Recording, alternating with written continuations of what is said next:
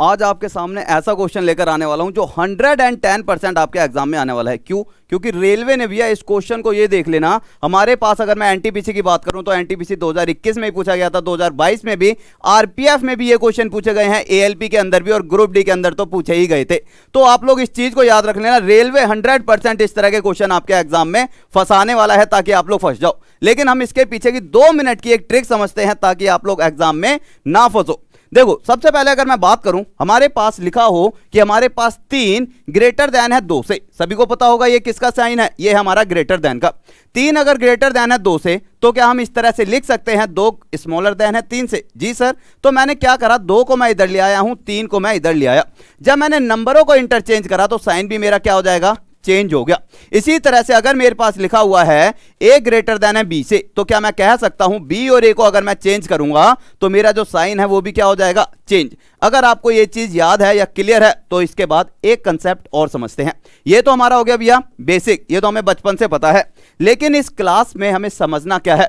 अगर मेरे पास कोई भी क्वेश्चन ऐसा आ जाए, जिसके अंदर आपके पास smaller than smaller than equal to equal to और फिर से स्मॉलर देन इस तरह से चार साइन एक साथ यूज़ हो रहे हैं तो राइट आंसर क्या आएगा प्रियोरिटी हमारी होती है सबसे पहले इसकी, दूसरी होती है इसकी और तीसरी इसकी।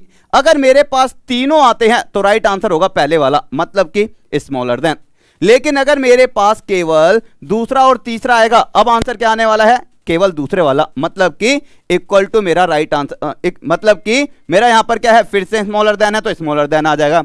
लेकिन अगर मेरे पास, मान लो क्वेश्चन में दिया होता लेस देन इक्वल टू और इक्वल टू अब मेरा आंसर क्या आता? अब आंसर आता लेस देन इक्वल टू यार सर, ये है क्या? समझ नहीं आया। क्वेश्चन से समझते हैं एक सेकंड में।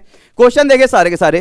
कह रहा है, क्या मेरा ए एफ़ से ग्रेटर देन है? ए से लेकर एफ़ तक मैं पहुँचा। मैं यहाँ से यहाँ तक पहुँचा। कौन कौन से साइन आए मेरे बीच में? Greater than greater than equal to greater than फिर से greater than greater than equal to equal to और फिर मेरे पास आया है ग्रेटर देन मैंने आपको बताया था, अगर मेरे पास तीनों सिंबल आते हैं तो प्रियोरिटी कौन से आंसर की है?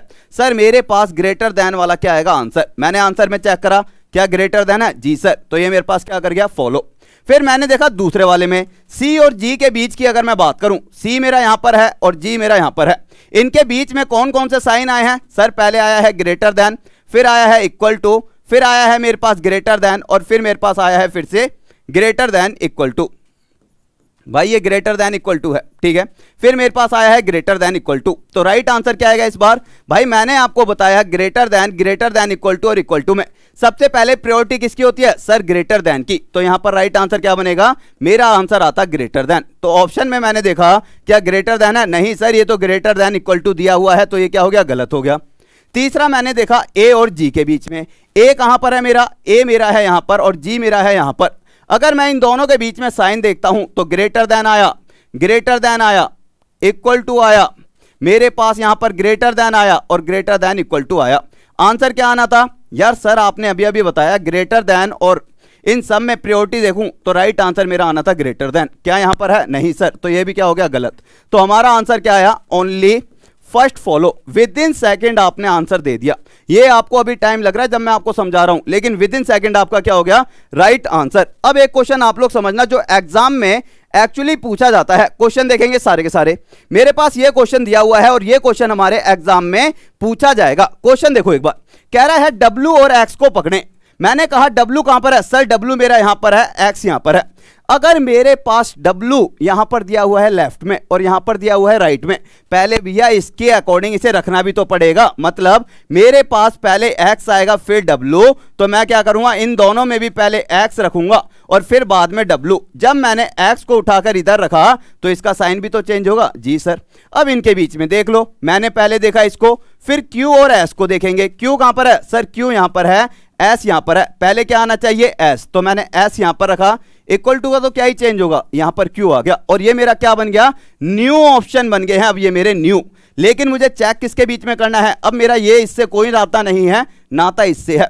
यहाँ पर मेरे पास कौन कौन से आ रहे हैं? आप कहोगे, सर, मेरे पास अगर मैं एक्स और डब्ल्यू की बात करूँ एक्स और डब्ल्यू के बीच में मेरे पास इक्वल टू आया है ग्रेटर देन आया है।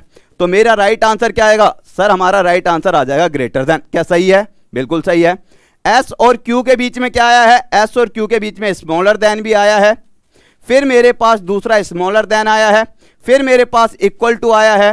फिर मेरे पास ग्रेटर देन आया है और ग्रेटर देन जैसे ही मेरे पास यहाँ पर इस तरह से हो जाएगा या फिर इस तरह से आएगा तो हम कहेंगे, एक साथ मुँह भी नहीं खुल सकता, बंद भी नहीं हो सकता तो ऐसी तो कोई कंडीशन बनी नहीं सकती तो ये क्या हो जाएगा? गलत। तो मेरा राइट आंसर क्या आ जाएगा? ओनली फ़र्स्ट फॉलो मतलब पहले वाला क्या करेगा? फॉलो। क्लियर?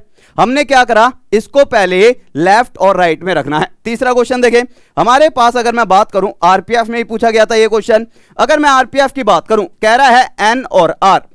भाई, एन और आर को अगर मैं देखूँ, ये क्वेश्चन, देखो, मेरे पास क्या दिया हुआ है? दो कथन दिए हुए हैं। अगर मैं बात करता हूँ एन और आर की, एन बराबर है आर के तो जहाँ पर एन लिखा है, उसकी जगह हम क्या लिख सकते हैं? आर लिख सकते हैं? जी, सर। अब यहाँ पर कंडीशन देखे। मेरे पास दिया हुआ है आर ग्रेटर देन है एल के आर कहाँ पर है सर आर मेरा राइट में है एल तो लेफ़्ट में है, ठीक है। तो पहले तो मुझे इसके साइन चेंज करने पड़ेंगे। तो मेरे पास ये हो जाएगा एल और आर दूसरा मैंने देखा आर और एम आर कहाँ पर है? राइट में और एम मेरा लेफ़्ट में। तो ये हो जाएगा एम और आर तो इसके साइन चेंज होंगे। तो मेरे पास ये आएगा इस तरह से। अब मैंने कहा इन दोनों के बीच में मेरे पास कौन कौन से सिंबल आ रहे हैं। चेक करो।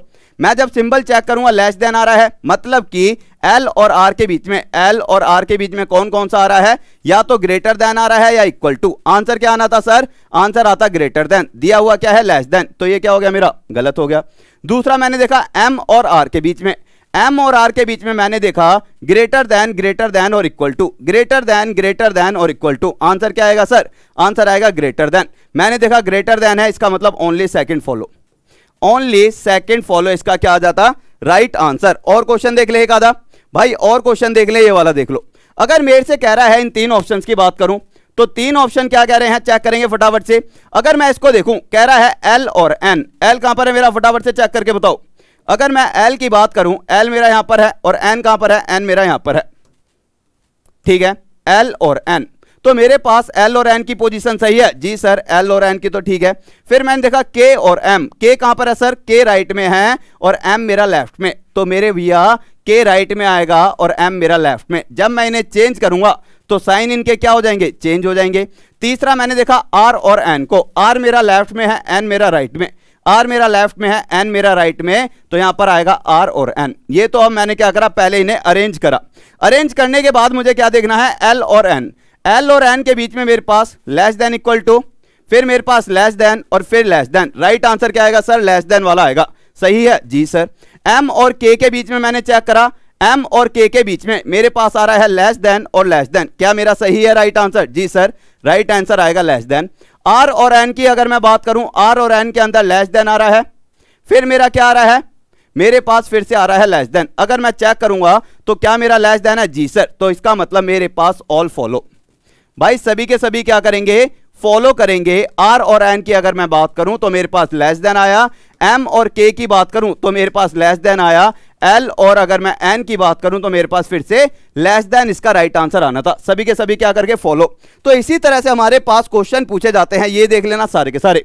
तो ये आपके लिए क्या है? ये आपके लिए है होमवर्क सारे के सारे उम्मीद करता हूँ आप लोगों को समझ आया होगा। बस आपको एक चीज़ समझनी थी क्या? आप लोगों को यहाँ पर ध्यान रखना है, कभी भी हमारे पास इतने सारे साइन एक साथ आएँगे तो सबसे पहले प्रायोरिटी है इसकी, दूसरी प्रायोरिटी है इसकी, और तीसरी है इसकी। तो राइट आंसर आप आसानी से दे पाओगे तो मेरे पास होमवर्क वाला क्वेश्चन जो है, उसका सभी के सभी एक बार ट्राई करना, ठीक है? और हाँ जाने से पहले आपको पता है रेलवे वाले बच्चों के लिए बहुत ही प्यारी सी चीज़ टॉप तक ऐप पर आ रखी है, कौन सी? बाई रीजनिंग का क्रैश कोर्स मात्र प्राइस कितना है? केवल इसका प्राइस है दो सौ निन्यानवे रुपए। तो सारे के सारे एनरोल कर लेना और एनरोल करने के साथ साथ इसका आंसर ज़रूर देना। तो okay guys thank you take care मिलते हैं फिर। जय हिंद, जय भारत लव सभी को।